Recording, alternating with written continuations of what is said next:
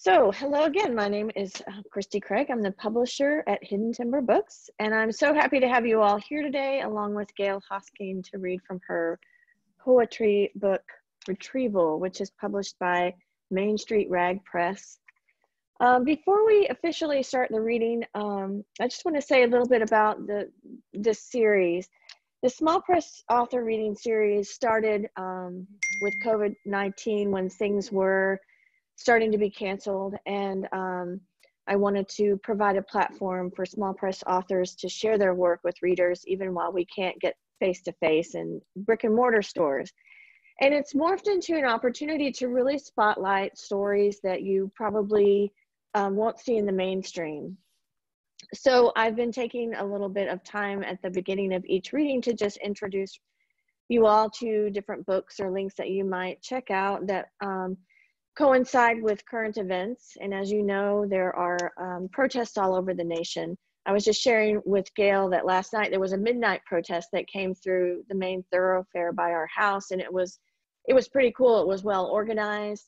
I thought, wow, it's a great time of day to do that because you're going to get a lot more attention than just in the afternoon on a weekday. So um, there's a lot to be paying attention to, and a book that's going to be out in the fall. It's called Black in the Middle, and it's pub it's going to be published by Belt Publishing, which is another small press, and they have um, put out several different anthologies about different parts of the country, including there's a Milwaukee, a Milwaukee anthology.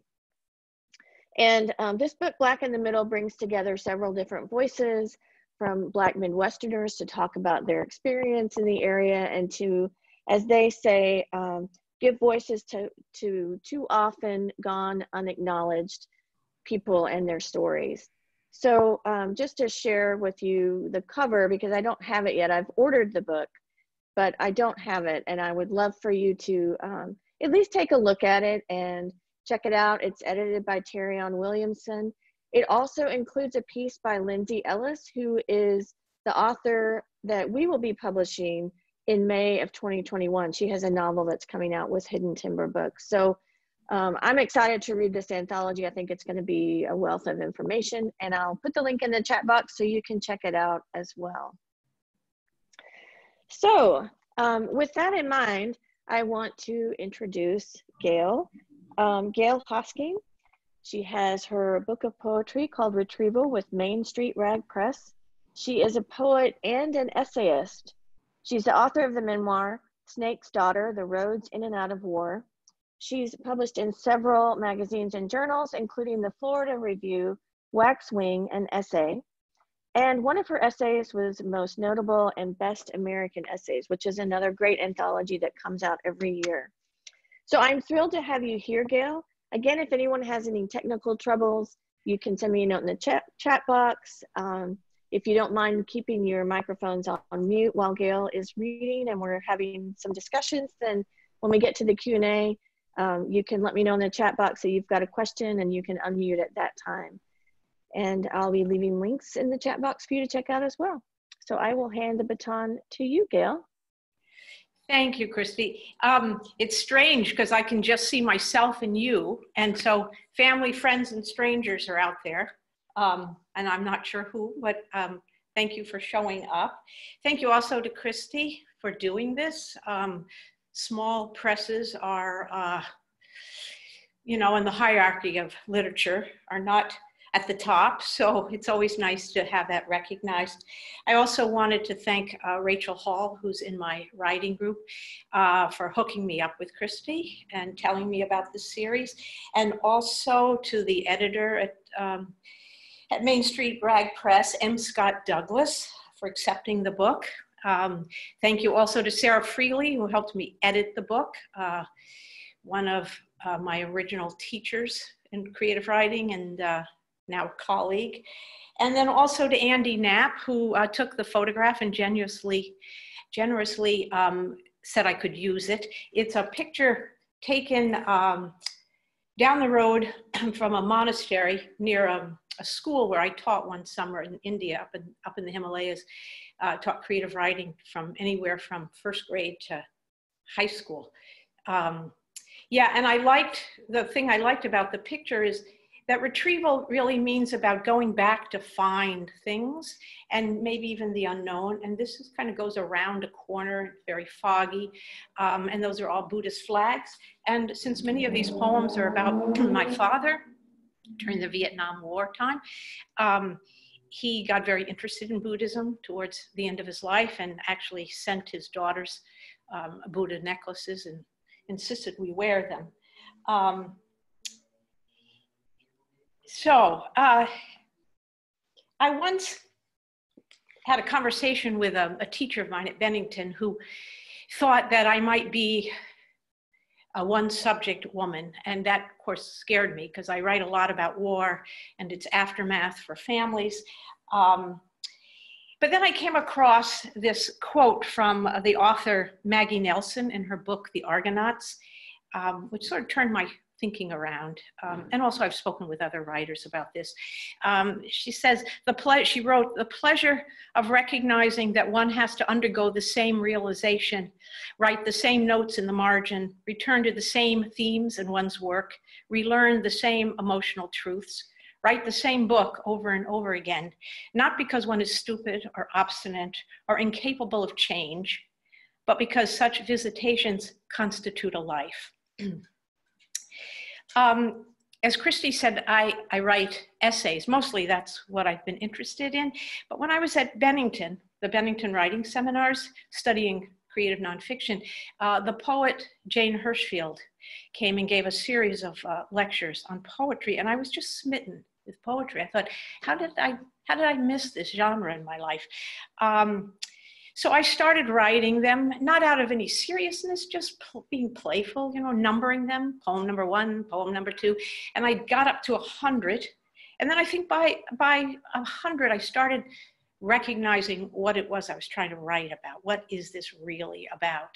Um, uh, but mostly, I think it, it taught me how to play around with images and language, which defined then my my essays. Um, so these poems have been written over mm, at least a decade, you know, and then to take them seriously, I put them in a folder. And then I had so many at one time, I thought I uh, showed them to Sarah and we started putting them together in this way. Another thing that I've noticed as I was uh, putting this talk together was that there is another theme here. And it's the theme of divisions, which I think is sort of common for army brats. You know, there's the civilian world, there's the military world, there's the private and the public, the male, the female, uh, the internal, the external, the forgetting and memory. Um, and I thought, wow, that's it. It shows up. So I'm going to start. The book's divided into three sections, and I'm going to start with the first section, um, a poem I thought was appropriate because it starts uh, called um, at an early age. And I think this subject is a subject I started paying attention to at an early age. Um, yeah, so anyway, here it is. And at an early age, I watched men parachute from planes and women read the future from empty palms. I learned how fathers depart in the middle of the night with rucksacks and guns while mothers linger at the window, shifting the weight of loneliness like a toddler from one hip to the other. I whispered prayers for the world to stay solid, but when the war blew my father into pieces difficult to find, the limits of language rested on a foggy horizon. For a lifetime, I've brushed up against those borders, picked at scabs of history, I've paused some nights in dimly lit rooms at the breaking point, searching for words in the margins, those out of bound conversations. I also have to add that at an early age, I lived in Europe post uh, World War II, and there were still many signs of the world of the war. Um, for instance, bombed out buildings and still in rubbles in Munich. Uh, I had to boil our water because of typhoid. Um, yeah, on and on. So it was something that I that I paid attention to. Um, I've been working for 20 years um, on a book about my mother, and obviously it's a tough one to write because it's 20 years later and I still haven't written it. I put it away, I take it out. So there are a few poems in here about her. Um, I discovered also in putting this together how, well, in writing some of these poems, how mythological the topic of war is. I mean, people have written about the archetypes and the subject forever and ever, um, as far back as we can imagine. And here I am in the 21st century still addressing um, this subject. So in the title of this next poem, I included Shakespeare's characters. It's called Hero in Khaki, sounding like Othello wooing Desdemona. It's on page six if anyone has the book and interested in following. While soldiers do push ups on parade grounds and sign papers of mission first, my mother hangs diapers on community clotheslines at Smoke Bomb Hill, picnics on a rifle range, parachute silk turned into bedspreads, men rarely out of uniform. A soldier's pay will have to do, my father writes her from the language school in Monterey. She drinks coffee in trailer parks with other wives, all of them waiting for payday, deployment, mail. Promises disappear with her black eye, rubbed like polish my father brushed into his boots, assurances stored with the bedroom gun collection. One night at the enlisted men's club, she takes that first drink and never returns, crazy as that sounds. With each swallow, hope travels over the fortress walls, to some dance she always imagined, some place she wants to call home, some peace. Off and on in my childhood, I lived with a grandmother in New Jersey, uh, especially if my dad was gone to Vietnam. Um, so this is a poem about the time I was 13 living with her and you know, one of the things I think the reason I keep writing is because I really, as an army brat and as a female, I felt like I had no voice, nor did I want one for a long time. But uh, it's very important to me at this stage of life. Uh, so this was really about a very confused 13 year old without, without a voice um, in northern New Jersey. So, by the way, now that I've gotten much older, I so appreciate the difficulty my grandmother must have had taking care of three, three uh, young girls. Um, no small task. Anyway, here it is. Consider this one small corner in New Jersey. Get your head out of the gutter, Grandma yelled as I sat on the curb down the street, the furthest I could go without running away. I could smell autumn coming soon in Mr. Metzger's backyard. Hear the story again about how he'd lost his son Billy back in the second big war. His chained dog ran a path under a maple with whales I couldn't stuff into my pocket, like the dollar bills my father sent and grandma folded into her brassiere. Think of what your father goes through over there in the jungle, she continued, as though that might make being 13 easier, less difficult for her to care for us, maybe losing her son. Get your head out of the gutter, she repeated, louder this time. And I thought she meant to stand up straight, model civility for my sisters, playing with Barbie dolls on her front porch near fading rose bushes. While Grandma swept dirt off the stone walk, I should have let the dog loose.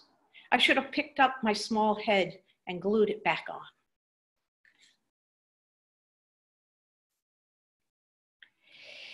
Oddly, I, for lack of a better word, oddly, my dad was killed on my mother's birthday and the first day of spring. And there's something about that coming together of those three things that has always, always given me pause. And I've tried to make sense of it. There is no sense. But um, yeah, this thought of the convergence of death, life, a new season. Um, yeah. Anyway, this poem uh, deals with that. And it, it mentioned something about a cake, making a cake. It was my sister who made the cake, Janice, not me. Anyway, I want to give her credit in case she's watching. Um, crossfire. On a country road across from cornfields and cattle, soybeans and sunshine, a daughter bakes her mother a birthday cake, then swings on the front porch to music moving in from far off St. Louis. The clock of long afternoons continues to tick beyond the spring flowers planted inside a tractor tire in the yard, and warm winds trace patterns in the clouds, here and then gone, their lives already dissolved, drifting over the shoulders of men with rifles raised, crossing a river, grenades, split second decisions. A father placed piece by piece into a plastic bag until the sting of the sun sneaks out of the jungle, so that one day out of a year, these memories of death and birth entwine like slender snakes, finding each other off a worn path. In a photograph never taken, man and woman stand together in fields of rice, rubber trees, and birthday cakes with blue frosting. Light rays refract, then converge on one calendar day as they pass through the same realm. I hope you're thinking of questions because I've left time for that at some point. Um, so I'm going to go into the second uh, section now. Um, and this poem also deals with division. Uh, my senior year in high school, I lived with an aunt and uncle. Um, and my uncle was clearly a civilian um, working for CBS in New York. And he bought this old green car, the BGC, we called it, the big green Chevy. And my job was sometimes to drive him to the train station so he could go into New York uh, and then drop the, the little kids off at their schools. So this is called split frame. Comes out of that memory. Some mornings, my uncle put on his coat in the flagstone hallway and called out to those left at the breakfast table, illegitimi non carborundum, then clicked his heels like Dorothy off to the land of Oz. Don't let the bastards grind you down. Other mornings, I drove him to the train station where I sat in our old green Chevy, watching him wait with the other men, dressed in suits and ties, attache cases, folded New York Times under their arms. The scene suddenly split to a frame of tiger striped soldiers waiting on the runway, their rucksacks and weapons ready for the long flight ahead. The factions of a nation alive, rendered from each other like fat from soup. Everywhere I look, the world divided, a double feature showing simultaneously in the same theater.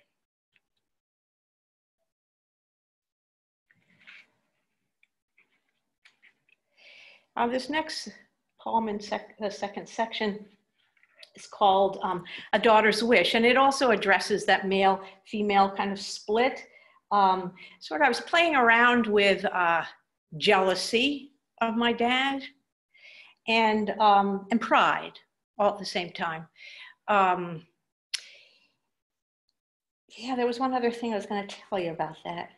Uh, yeah, maybe it'll come to me. Um, yeah, daughter's wish. And maybe trying, I've been accused of being so serious in my writing, but I always say, yeah, but I'm a happy person. Um, so I was trying to play around a little bit here with humor. A daughter's wish. Oh, I know what I was going to say. I'm always talking about, oh, that book won the Pulitzer Prize, and that book won the Pulitzer Prize. And one day I thought, what is it with this Pulitzer Prize thing? And I thought, oh, it's kind of like the Medal of Honor of Literature. And my father received the Medal of Honor uh, posthumously. And so maybe I think that's the connection. Anyway, here it is a, a daughter's wish. I wish I'd gotten the Medal of Honor, the Pulitzer of War, so I might leave behind a generation of admirers with a gymnasium and street named after me, a museum for my stuff. I wish whole platoons would visit my grave bearing flags and trumpets, rain or shine, someone to brush off the snow on my stone. I wish someone would tell stories about Remember when? And yeah, she was one fine soldier. I wish, like the sparrows resting on top of that wall of names, I might keep the dead company, might listen to the sonorous sounds of crowds gathered to recollect and leave something behind as a gift. I'm wondering at this point if anyone has questions or um, Want to take a little break before I move on? Hi. she knows that voice. You know, I'm just um, moved by your poetry, and I'm thinking about what's going on in the world, and mm. it reminds me of the 60s. It reminds me how you talked about college and how you could never really um, be prideful of your father because what was going on. And, um, and that's just something my thought is on. It's not a question, honey, it's just a thought. No, I think you're right, though. I think everything has its time. You know, the, the country is um, interested in the subject. I think we've had a, a generation or two in between.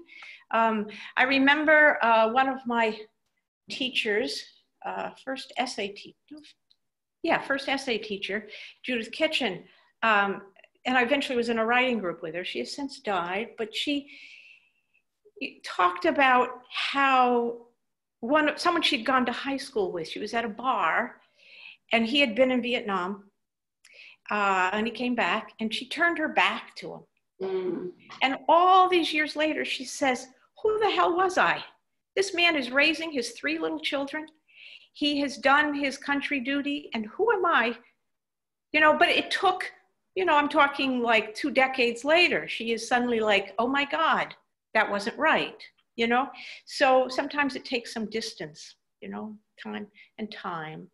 Um, yeah, and maybe now with the way things are in the country, we're sort of looking at ourselves like, yeah, you know, in many ways, not just about race, but just how we judge and et cetera, et cetera.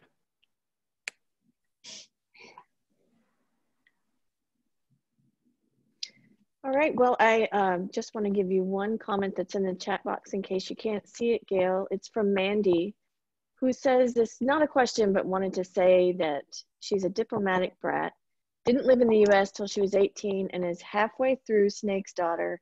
Oh, and she says your writing is hitting a deep, deep chord.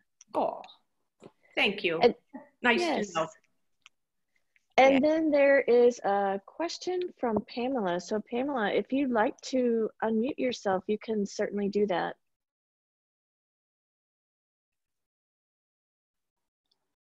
Oh, or I can read it for you. She said she's got a little bronchitis. Oh, so. oh Pam Ferdinand. oh, hi, Pam. All right. So her she says such a beautiful and deep work, Gail. I'm wondering how you've marked your father's death on that day, your mother's birthday, over the years and how that has changed. Well, God, I'm a different person. I think in those days, you know, all I wanted to do was run away and uh, pull the shade down and not talk about it and um, and not deal with grief. I mean, so that was quite a long time ago. Um, and now, you know, maybe because of writing essays, writing essays for me is a lot about making connections. You know, you pull these three things out of the sky and they're like, oh yeah, they kind of go together. And, and this is material that I, that I would use, the irony, you know, of, of spring and, and, and, uh, wondering like why of all days, you know, that day and, um, yeah, and how, how that day stays in my body, which I find interesting. The head is like, you know, some some years you think um, you have to be reminded, like from a sister or something, like, yeah, this is the day, and uh, what they call in Yiddish the yahrzeit, the time of the year. Um, and then I think, oh yeah, I'll light a candle. Uh, but uh, but it does stay in the body, and I've had that experience. Uh, in fact, I wrote a poem about it. Maybe I'll I'll get to it. Um, of having things just click like, oh yeah, it doesn't go away, it doesn't go away. So I don't know if that helps, Pam, but yeah.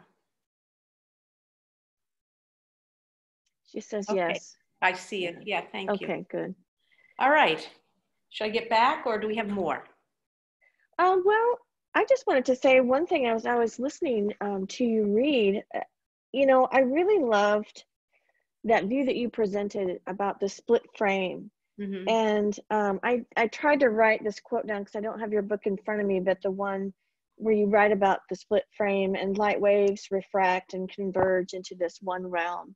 Yeah. And, you know, all of your poetry you've just created such beautiful imagery and i think you know that's part of it like you're it, it seems like you have a very um, cinematic visual view of the world and so in turn you give us these wonderful images in your poetry and i also wanted to say that i love how you introduced it that you know you didn't even think about writing poetry until you started kind of playing with it and there's a, a woman named Sarah Lewis who wrote a book called The Rise. It's all about creativity. Mm. And she she talks about how play is a huge part of creativity mm-hmm. and that we think that it it's you know silly and whatnot, but it often results in um, some amazing projects and some amazing discoveries. So I thought that was really cool. Well, sort of high, low stakes, playful. You know, I would write it, put, throw it in. Um, and some nights, the night before, I would just make a list of words, um, pulled at random, and then I'd say, I have to use these words tomorrow. And I love the challenge of it. I think if I had said, okay, now I'm going to become a poet and I'm going to work towards a book, it, it wouldn't have gotten written, you know? So, yeah, play is important. I think you're right. Um, all right. So, back in 2003, my sisters and I went to Vietnam with a grassroots organization called Sons and Daughters in Touch. And it turns out it's the only time that group went. So I'm so glad. At first, I wasn't going to go because I had written a book about my dad and I'd researched all stuff about Vietnam and I was sort of sick of the subject. And I thought, ah, I know everything there is to know. Why do I need to go? And it was going to be expensive and all that. But then when my sisters were going, I thought, well, I'm not, they're not going without me. So I'm so, so glad I went. Um, this is a grassroots organization started by Tony, hmm, I can't remember his name, last name, uh, whose father had died in Vietnam and they never found his father. And he started this organization, grown children, we're all grown up, you know, who's still dealing with that war. And we went to visit the, the, um, the country. We were there three weeks. We brought along a priest, a nun, nurses, uh, retired uh, Special Forces colonels. Um, and then when we got there, we divided into uh, groups, color groups, and the group you were in had to do with the area where your father was killed. And we, they, I think they took like three years to research um, the battle details and the, the geographic location of where each death was. And we went with our group to each place and we held services. Um, and we brought the Vietnamese with us and uh, it was a very powerful experience. So this poem comes out of that time in Hanoi, which, you know, growing up, teenage years, thought that was the enemy. Um, and there we were in Hanoi. It was a bit scary at first, um, just because of everything that, you know, I had well, had, had thought about during that time, during the war. Um, so this is and from an experience I had buying a, a, CD about Elvis. And my mother loved Elvis, had every one of his records, went to all his movies. So it, it popped out. And so, anyway, that's what this poem's about Elvis in Hanoi. In Hanoi, when I try to buy two bootleg Elvis CDs with American cash, the vendor shakes his head no points to his missing arm. In the narrow space between rows of music, discs slipped into sleeves, he motions for me to sit on a red stool while my sisters hand him dong and we calculate the exchange. I want to tell him about my mother's love for Elvis, how she danced a Heartbreak Hotel, and Are You Lonesome Tonight? I want to ask what he thinks of Elvis.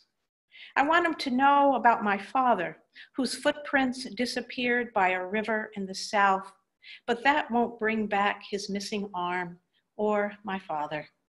I want suddenly to reach out, touch his remaining arm, a gesture of understanding, some penance for what I did not do. Two strangers study each other under the tropical sun, find the vanishing point, currency, Elvis, this red stool for resting. And the last poem from this section, it's on page 36, it's called Scoreboard. And I thought about this, you know, I'm always seeing men about that age uh, in wheelchairs. And I often wonder about like their story, you know, I mean, that's the writer in me. But so I imagined them as Vietnam vets. And that's what this came out of um, scoreboard. What would God say about those legless men sitting straight in their wheelchairs, combat pay in their pockets, splintered souls who roll by downtown, or the ones tossing a ball from chair to chair with calloused palms, their wild arms thrusting upward for points? Would he notice the choreogra- choreography of shots, explosions of voices, the names screamed in the crowd? Would he hear the crash of metal against metal, wheels screeching across smooth planks as the gym eventually hushes? Would God know where to find the missing legs? And how would he handle two dead Iraqis traded for one American, one set of camis for two dishdasha? Would he consider the call for evening devotions bursting with century long ceremony less important than the chaplain bowing his head before a pair of empty boots?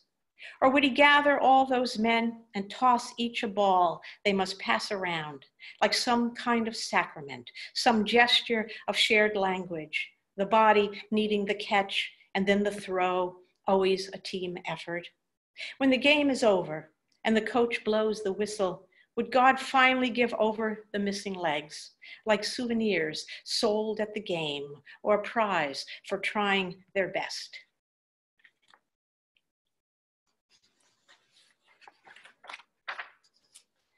So this next one comes from the, the third section, and it's a prose poem. I try to play around with different styles. You know, we can get stuck in our, our own way. Um, so interesting though, this, this, what I call a prose poem was published in, um, in an anthology called, uh, Sarah knows, she was in it also, uh, one, nothing short of 100. It has exactly 100 words. So, you know, you're counting like this to make sure. Anyway, it was accepted, but I think of it very much as a prose poem. Uh, it's called War Never Ends, and it comes based on a dream that, uh, I don't know if it was a repetitive dream, but a dream that I had. Night after night, I swoop up tiny tetras in the shower. I carry them to safety, and they swim out of my grown up hands.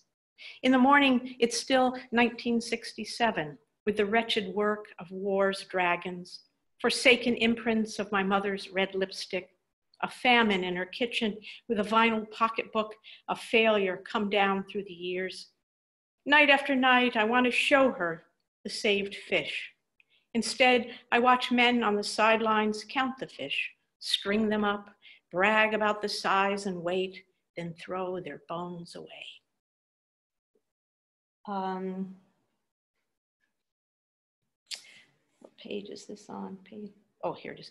Um, this is another poem, this next poem about division. And it started, I started thinking about it when I was teaching at Rochester Institute of Technology for about 15 years.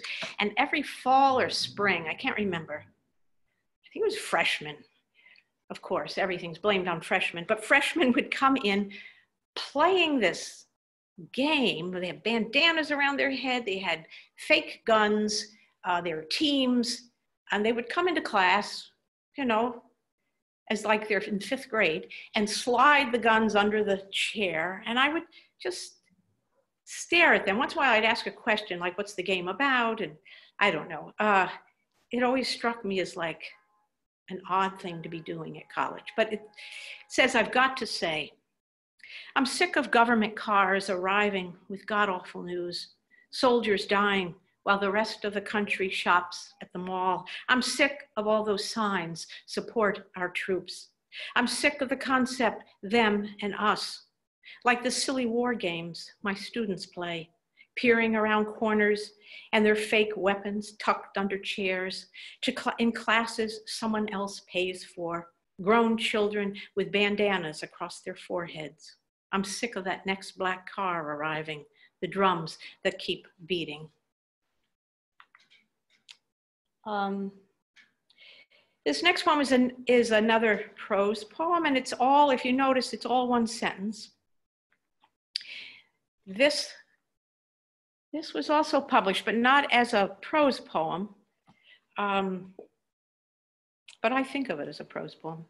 It's one sentence, and I wrote it when I came back from Fort Bragg, which won't be Fort Bragg for long, um, when my father was uh, mm, asked well asked he wasn't around but asked to be in the re- the regiment uh, for the special forces. And so they, they made a big deal about it. The family flew down. We stayed in hotel. Um, we had a, a, our own private guide. Um, so this is written when i get back from from that that weekend. It's called distinguished member of the regiment. It's late and I'm home, but I'm also at Fort Bragg, still on that stage, shaking the colonel's hand after he hands me the medal around my neck in honor of my dead father, now gone 50 years. And his eyes stare at me with tenderness or what might have been pity, which makes me think he wished he'd known my dad, whose picture projects on a screen for the audience to see while someone reads the details of his heroic soldier death. And here, where the night ticks slowly by. I'm also still thinking of Glenn Lane, who looked tall and strong and young in the black and white photograph he handed me at the reception after the ceremony of his Special Forces team in Vietnam back in probably 1966, with my dad kneeling in the front row and Glenn standing in the back wearing what my father called tiger stripes and how he'd told me he'd been wounded two days before my father was killed, but that no one told him for a month because they were afraid he might never recover then. And how suddenly he's in his 80s, no longer a soldier. And I'm lying here, states away, wishing I had said something worthwhile to him, since he'd sought me out to give me a copy of this picture. But all I did was listen, but not enough, because the crowd was noisy and the southern sun so bright and my son and daughter in law, who never met my father, stood nearby, watching with curiosity. And I didn't want them to leave my side, while the round bronze medal draped with a green ribbon around my neck, and my body partly disassociated to a place where it's okay to put things on hold while you figure out exactly what you think about all this, and won't have to realize yet that this honorable gathering will pass quickly, like our lives and the crowd will disappear sooner rather than later. And it will be too soon, too late to speak to everyone you'd hoped you would. But life moves that way. And sometimes, like tonight, you want to pull back the past like bed covers and slow it down so you can be there again. I mean, really be there. So, like life for a child, it will last forever. And so will your father.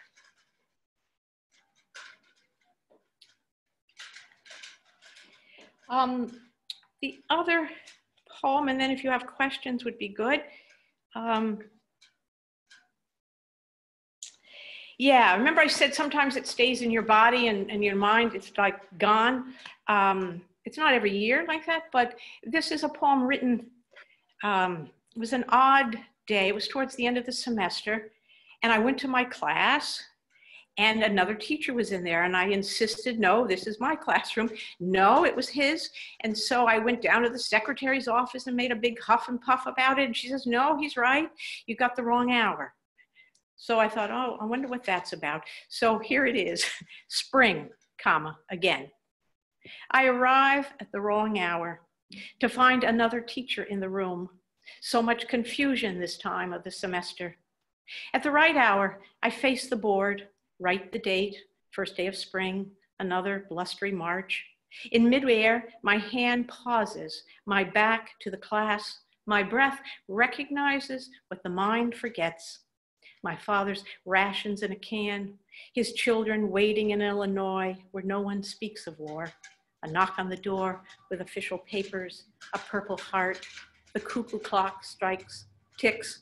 My little brother sits on my mother's lap open your books. Be sure to take notes. I mean, it just sort of clicked. I thought, ah, that's why I'm just not totally here. Um, and then one last one. I mean, I can read more, but um, before we ask maybe some questions, um, this is, I think, a poem. If I had to guess, it's called "In the Therapist's Office," which already tells you I was in therapy, of course. Uh, but I think it's how many years I really had to work at finding this sorrow and trauma uh, on many layers inside my body.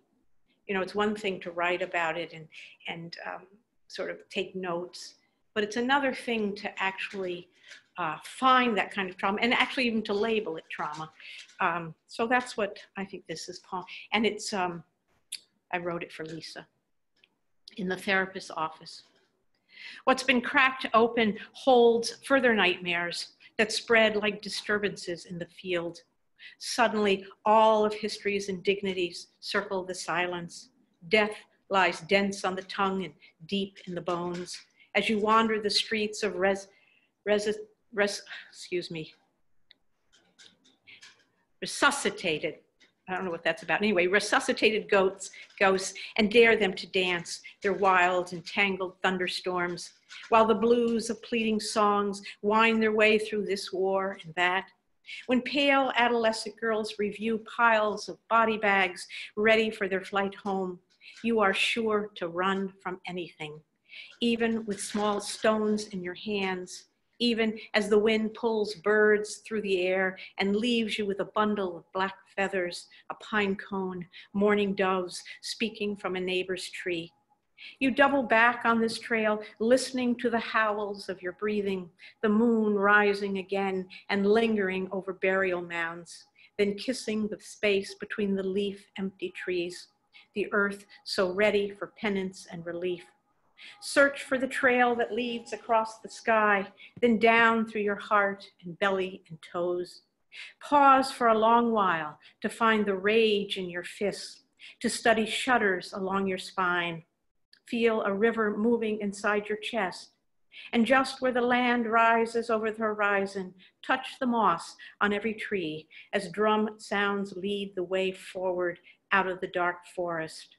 When the body swells again with pain, the goddess turns you like a compass towards praise. So I thought maybe it'd be a good time also to take a break if anyone has questions. I'm sorry, I keep forgetting to unmute myself. Yeah, go ahead. Um, yeah, so while I share a little bit about my thoughts, please, everyone, feel free to drop your name in the comments if you've got comments or questions.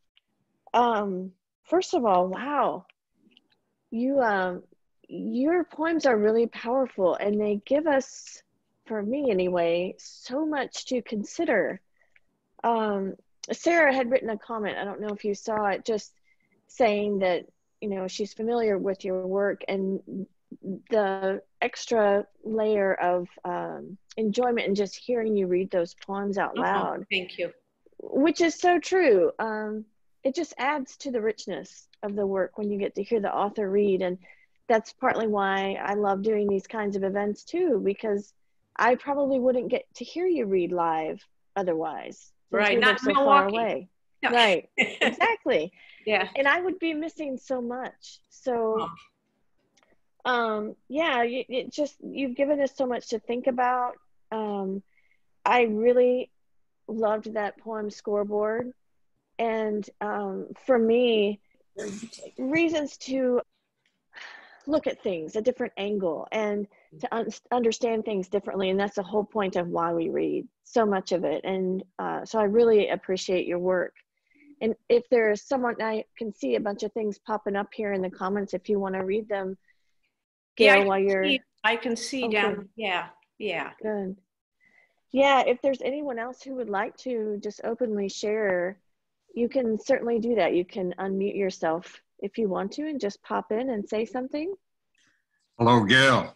This is Bob. Oh, Bob Shea, who went to Bennington as well. and Kate.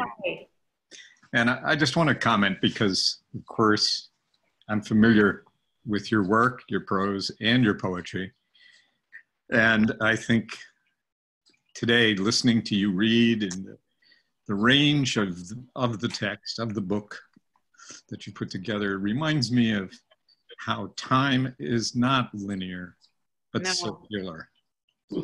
and how you've brought that so richly together throughout this sections of retrieval. And um, I feel, uh, how to say, lucky Hmm. uh, to know you, to have learned from you, and to share this part of our lives together beyond Bennington. Well, thank you. Yeah, one is writers are always looking for literary pals, and Bob has been one of those over the years post Bennington. Um, you know, someone else who cares about essays and images and, and all of that. They become quite precious. Yeah, thank you. Yep. Is there anyone else who'd like to pop in real quick? Hey, Gail. I'll pop, oh, nope, yes. Okay, this is, I've been, this is Denise. I'm looking at the one I've got to say. Um, Oh, just, um, you know, and I guess you're thinking of all the games that people play and video games on war and, um, and you're go, and you're the reality, you're the, you know, the government car coming to tell, uh, Yeah. the reality of war. And, uh, it's- it's a, it's an amazing, uh, imagery, Gail. oh, thank you, Denise. Yeah. Um, yeah, there's, when you were saying that, I was thinking of this other poem that I'm going to read, and um, even language that's used. Um, I was thinking back in 2003 when that group, you know, that Sons and Daughters in Touch, when we went to Vietnam, we were waiting in the Singapore airport when um, the Iraqi war started, ironically. Uh, and it was on CNN, you know, the television up there. And um, anyway, I'll read it. It deals with, well, even how the language itself um, gets complicated, you know, and what triggers things. It's called He Says War Again. At the Singapore airport, on our way home from the, to the world of the big, big PX, after three weeks in Vietnam, sons and daughters stand in line with what our fathers would have called at ease. I watched Cindy from Ohio fiddle with her baby bracelet taken off her dead father in the A Shau Valley, and siblings from Texas with an MIA father. The president on the TV behind us announces the Iraq War, sitting in his office and talking like he's telling us that even though we thought school was over, we'd have to go back and start again. Sacrifices will have to be made. History moves over us like a thousand tiny ghosts. Words like decisive force and military families praying, caught in the back of my throat. Absurdity fading from bright red to pale pink to no color at all. I look out the narrow windows along a row of purple orchids, a fat sun inside a red haze. Soon, helicopters will again swoop up the wounded and dead, tracers and bombs, machine guns and bodies. You've seen it in the movies. Another battle never completely resolved. It's 30 years to the month that the last combat troops returned from Vietnam, and I am 53 years old, still considering the immeasurable miles between home and outpost, still tinkering with invisible pieces of war. Voices over the intercom assure us all the planes will arrive on time. So, of course, I'm trying to deal with irony there, you know, uh, yours, mine, and ours, um, and how casually President Bush, at least I thought, said those kind of words. And I thought, if he could just be in line with us right now, he might change his mind. But anyway, he didn't. Thank you, Gail. There are a couple more questions. I think one from Sure. John and then Mandy. Okay. And then um, there's a question from Howard after that. So we'll start with John. okay. okay, actually, it's Janice. It's. Oh, um, my sister, my sister, I yes. know that voice anywhere. Yeah. I just, just wanted to say how much I appreciate listening to you read. Um, and uh, I've always loved writing. In fact, I have, you know, folders full of them, of your writing.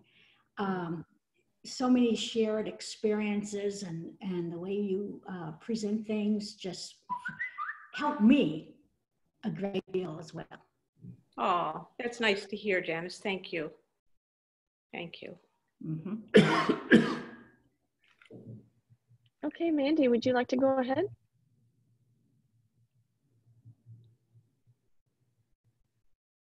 Do we lose Mandy?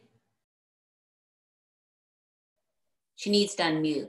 Sorry, I was on mute, and um, Oh. yeah, I was, I was, I was just saying I was reluctant to show myself because I'm in my painting clothes and I have pandemic hair, as a friend of mine calls Oh. it. But I'm the one that grew uh, is a diplomatic, Right, Right. right, right. yeah, Yeah. and um, I, I was just wondering. I know you writing. I mean, I just know about your poems, and then I'm, I'm reading Snake's Daughters, which is divided into, you know, small essays for the Mhm. most part. And I'm just wondering if that, you know, fragmented kind of childhood lends itself to that Oh, form. definitely. A hundred percent. And it's interesting also, it only occurred to me this past year that, and I, I, uh, I wrote a short piece about it actually um, for this book I'm writing about my mom. Yeah, I think everything I've ever done in my life is done in short pieces. I'm, I'm a quilt maker, a collage maker. Um, I write those short pieces. My poems are short. Uh, I think, I mean, I use the metaphor of like life breaking apart and feeling like my job in life is to put the pieces together Mm. again and uh, to create something beautiful out of something that isn't beautiful. And so it occurred to me that, wow, this is how I approach it all. Um, and maybe it also has to do with how much I can hold in my head. And like in Snake's Daughter, I used photographs. So, I mean, you know, that alone is a small piece. Um, yeah, no, good observation. Thank you. Yeah, and, and you know, you know too from moving around a lot, you only get, to- well, I don't know about, uh, my dad was an enlisted man, so, you know, at the bottom of, at the bottom there, so you didn't get to take very much with you, and you had to choose constantly what's important, what can I leave behind, what can I take with me, uh, what do I love, what do I don't need, you know, and that's also about pieces, I think. Yeah, I've I've been working with homeless people and creative writing workshops for about 20 years, and I've always wanted to kind of put those experiences together, but it seems impossible because really I was so privileged and um but the minute i walked into the homeless shelter i felt at home which is ironic and probably not No, it's not actually. correct Yeah, someone who moves around all the time. I mean, Yeah. it, in a way, it's another form of homelessness. yeah Yeah. But i you know didn't have i don't have the socioeconomic aspect of that No, of course not. But that's still the the concept, you know, Yeah. of where is home. Yeah. Um, yeah. well thank you Oh, you're welcome. Um, I have. I thought I would read one other poem that includes both my parents and very old, from an old, very old photograph, probably in the 50s, maybe before I was born. I don't know. It's called um, Mercury, patron god of travelers. And maybe, Mandy, this sort of fits, well, I don't know about fits your life, but that concept of traveling. My father gets out of his black Mercury, so shiny I can see my reflection even now. Everything but his love filled with elegance and skill. Hermes returned. Shirt sleeves rolled up, blue tattoos on his forearms buried beneath his blonde hair. One day in a jungle, these ink images identify his body. But for now, the engine runs and my mother climbs out the other side, barely 19. They stand under a brilliant sun as if waiting for the future they already know is unsettled, waiting for me to offer help to the underworld. It's warm, always warm, with more children to raise. To the right, a big field with possibilities they don't see, a fence they can't climb, rows of farmer seeds ready to burst open. The sound of an erratic train runs parallel as I wave my magic wand, a caduceus with its entwined snakes over these now departed souls, me, the conductor of the dead. i feel think like i'm taking Oh, sorry I'm sorry. That No, last I just- one sort of refers, I feel, I don't know why there's a sense of responsibility. Uh, Maybe I was, I'm the oldest child, who knows? Anyway, Um, sorry. I'm taking up too much time, but I just wanted to point out one line in Snake's Daughter that um, reminded me, this poem reminded me, is about your dad getting into a plane and one world shuts off and the next one shut, you know, turns on with the Yeah. AC. And, you know, anyway, so I'm, Yeah, I'm well, done now, but thank you. Thank you. No, it's, it's nice to hear, because I wrote that so long ago, it's sometimes hard to remember. Did I really even do that? Yeah. Thank you, Gail. Um, I know that Howard had a question real quick. So Howard, if you'd like to unmute yourself, you're welcome to. Okay, thank you. Can you hear me okay? Yes. Yep. First of all, I want to thank you, Gail, and also you, Christy, for making this possible. Um, this is my second of these events, and, and as someone said earlier, a chance to hear you read poetry that none of us otherwise would have. And, Hmm, and so thank thank you. you both. Um, my, my question is your, your poetry is so, um, the images are so vivid and real and, and everything is so emotional. Hmm. Uh, Could you offer any advice for a 60 something who has taken an interest in reading and writing poetry rather late in life with no formal training in writing other than technical writing? Sure. Well, writing is writing, you know, for starters. Technical is good.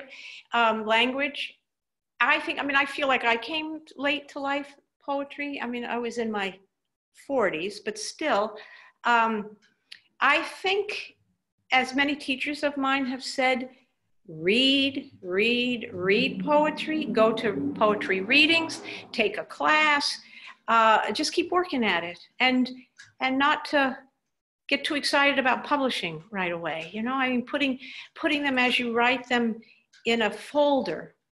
Um, that's my suggestion, and just bringing them out when you feel like I don't feel like starting something new, but I want to work at this. And then, you know, a period of a few months, you step back and you think, oh, well, that's not what I'm really trying to say, or what word would be better, or I've used this word twice, or, you know, those small things that kind of, um, and then they grow that way, sort of organically.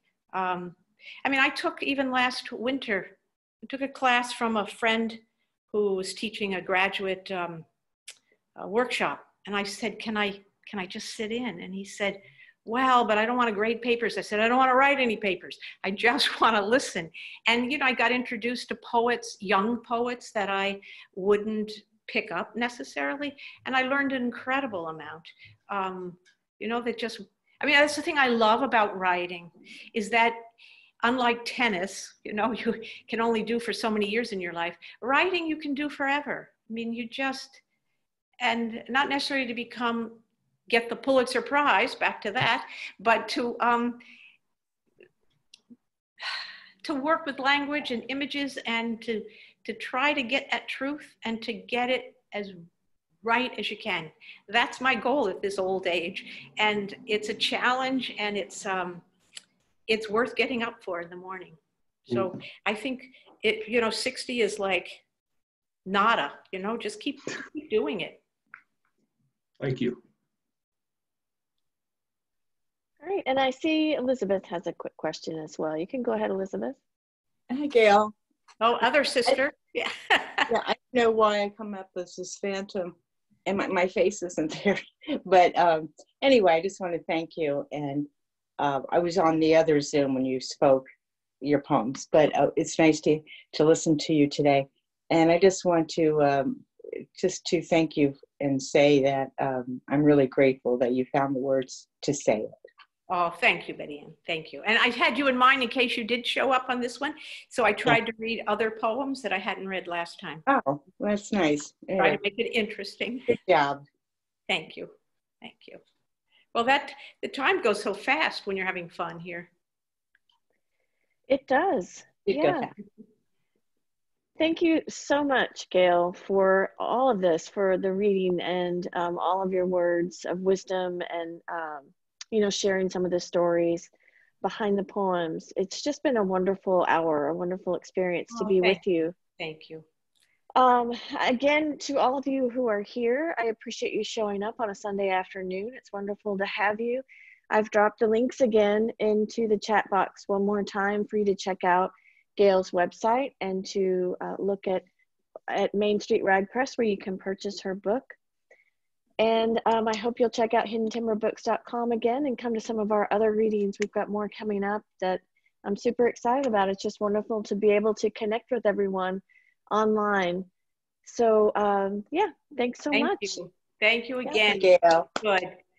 Bye, everybody. Thank you for showing Thank up.